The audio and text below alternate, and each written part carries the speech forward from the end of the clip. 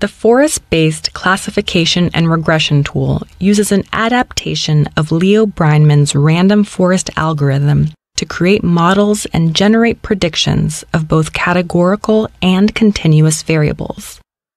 To illustrate how the random forest algorithm works, let's look at an example of how we might create a model to predict dog breed. Every model requires training. Training is how we teach the model how to predict by providing it with examples. To train my model, I'll provide it with a set of example dogs. For each dog, I'll provide information about their size, color, fur, ears, tail, age, and weight, as well as their breed, so that the model can learn the relationship between these explanatory variables and the variable that I'm trying to predict.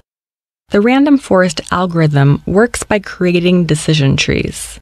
Decision trees are like flowcharts. They create a set of rules for predicting a feature's category or value based on its attributes. For example, if I present my decision tree with a new dog, it will predict its breed by answering a set of questions about its explanatory variables. Is it a big dog or a small dog? Small. Follow this branch. What color is it? Black and tan. Follow this branch. Does it have pointy ears or floppy ears? Floppy. This dog is a dachshund. What makes the random forest algorithm so powerful is that it creates an ensemble of many decision trees, hence the name forest. And the reason it's called a random forest is because each tree is trained using only a random subset of the training data and a random subset of the explanatory variables. Each tree does its best to predict with the random subset of data and variables it was given. The tree on the left got weight, color, fur, and tail and correctly identified the new dog as a dachshund. The tree in the middle, however, got color, fur, tail, and age and incorrectly identified the dog as a German Shepherd. But in the end, the majority vote wins, and the forest correctly predicted the new dog's breed as Dachshund. Any individual decision tree on its own is not a strong predictor because it is prone to overfitting to the training data. Overfitting happens when the model mimics the training dataset too closely instead of generalizing a trend, making it so that the model can only predict the data it was trained with.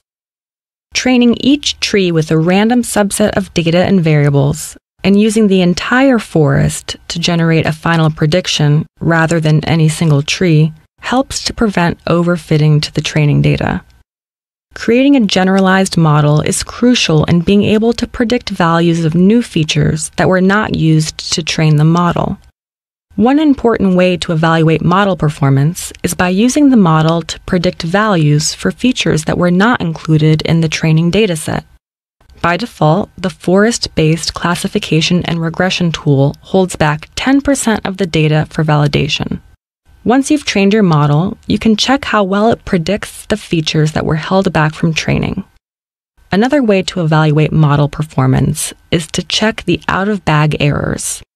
Since each tree in the forest is only trained with approximately two thirds of the training dataset, we can see how well each tree does in predicting the one third of data that was randomly excluded from its training. One more important note any model is only as good as its explanatory variables. The variable importance chart tells us how useful each explanatory variable was in generating a prediction. For example, we can see here that age is not very relevant when predicting dog breed. All of these diagnostics and more can be found in the output messages created by each run of the forest base classification and regression tool.